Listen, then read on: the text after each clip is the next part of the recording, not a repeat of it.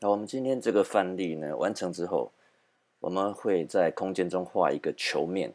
然后球面外面呢会有一个点，这个点我们可以去呃拖移它，在拖移它的时候呢，呃，它所对应到的这个地方会有个切点啊，切点圆。那这个切点圆呢，我们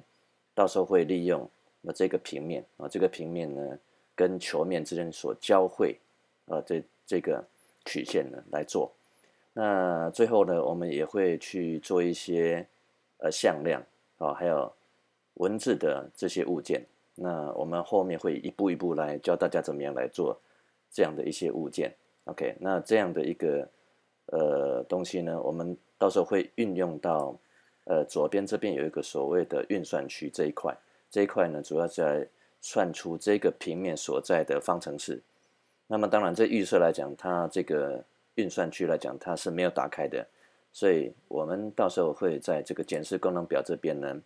会按一下这个运算区让它出来。OK，当然，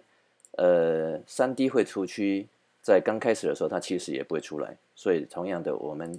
也会在这个检视功能表里面呢，会先打开三 D 绘图区。OK，那么我们后面呢，再来一步一步来教大家怎么样来做这样的一个档案。